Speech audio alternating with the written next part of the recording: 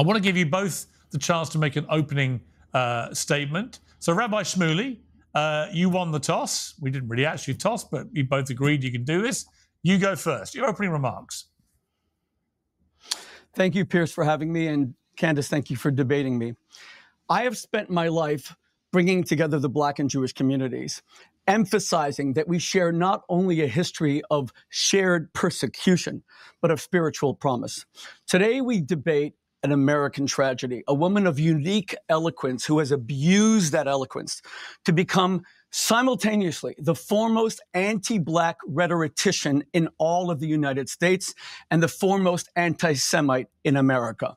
The statements that Candace has made against her own community, that they cry wolf and constantly say that they're victims of racism.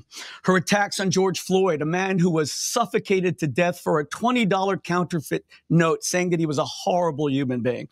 A woman who went up in front of CPAC and said, I was never a slave in America, as if that's the only form of discrimination is what has led her community to call her not Candace, but Clandis. The first ever female black woman who appears in her rhetoric against blacks, calling LeBron James dumb and stupid, and an icon to the black community, as Clandis.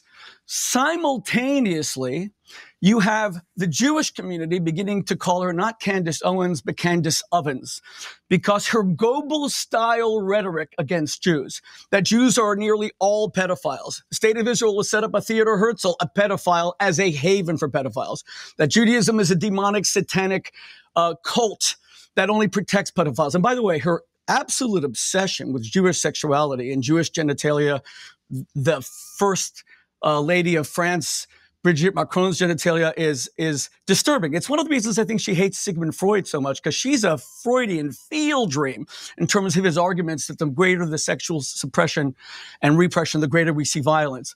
But when you say that the Jews killed JFK because he was about to ostracize Israel, when you invent all of these fabrications out of whole cloth, what is the result? The result is the demonization of Jews that leads to violence.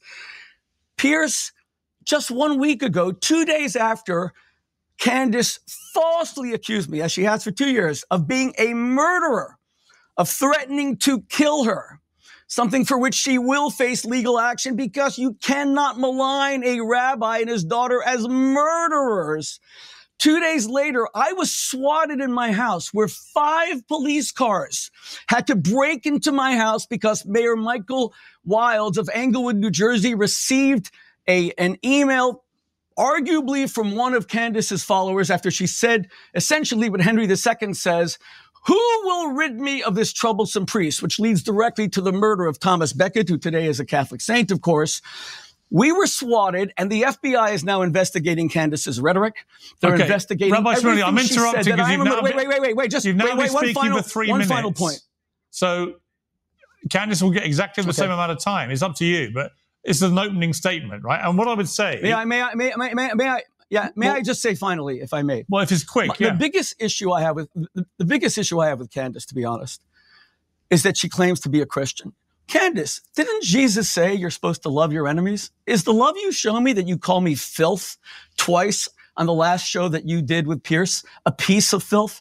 You're supposed to love your enemies. Turn, is that turning the other cheek? And Piers, you're a, you're an English gentleman. I've known you for many years. You allowed her to say that without even a piece of filth. When Jesus said that you're supposed to turn the other cheek, where have you ever turned the other cheek? When Jesus said that the meek shall inherit the earth, the arrogance, the nonstop right. attack against Jews, the demonization. If you are a Christian, then I am the second coming of Christ. Okay. That's four minutes you've spoken to. Uh, out of fairness, Candace, if you want to use four minutes to respond, you can. All I would note, Rabbi Shmuley, is you've spent four minutes personally attacking Candace Owens.